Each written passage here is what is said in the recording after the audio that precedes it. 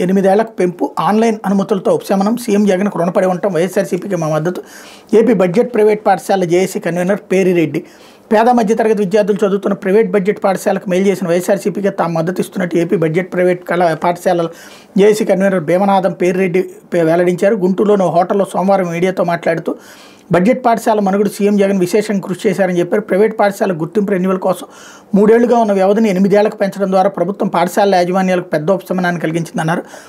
గుర్తింపుకు కోరుతూ ప్రతిపాదనలు ఆన్లైన్లో పంపే విధానాన్ని ప్రవేశపెట్టడం ద్వారా డీఓ కార్యాలయాలతో పాటు అధికారుల చుట్టూ తిరిగి అవసరం లేకుండా చేశారని సీఎం జగన్కి తాము రుణపడి ఉంటామని చెప్పారు అన్నట్టు వార్తని హైలైట్ చేశారు. ఇకపోతే జగన్ది జనం మేనిఫెస్టో అంటూ మేనిఫెస్టోపై ప్రజలకు నమ్మకం కలిగించిన నేత సీఎం జగన్ జగన్ది పేదల మేనిఫెస్టో బాబుది పెత్తందారుల మేనిఫెస్టో రాజకీయ పార్టీల మేనిఫెస్టోలు అమలు సాధ్యాసాధ్యాలపై సదస్సులో మేధావులు అన్నటువంటి వార్తని ఇక్కడ ప్రధానంగా హైలైట్ చేశారు. అయితే కాపుల్ని మోసం చేసింది పవన్ చంద్రబాబే. వాళ్ళిద్దరిని రాజకీయాల నుంచి తరిమేస్తేనే రాష్ట్రానికి మేలు. కాపుల సంక్షేమానికి జగన్ ప్రభుత్వం ముప్పై నాలుగు వేల కోట్లు ఖర్చు పెట్టింది.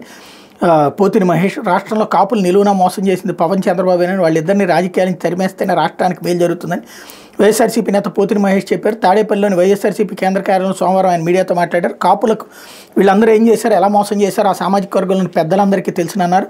కాపును ఓట్ బ్యాంక్గా మార్చి చంద్రబాబు కాపు జాతిని తాకట్టు పెట్టడం ద్వారా జనసేనను పసుపు సేనగా మార్చేందుకు చంద్రబాబు ఇంటి ముందు కట్టి కట్టిపడేసిన కుక్కలా విశ్వాసం చూపుతున్నాడే తప్ప పవన్ కళ్యాణ్ ఏ రోజు కాపులకు మేలు చేసేలా మాట్లాడలేదని చెప్పారు.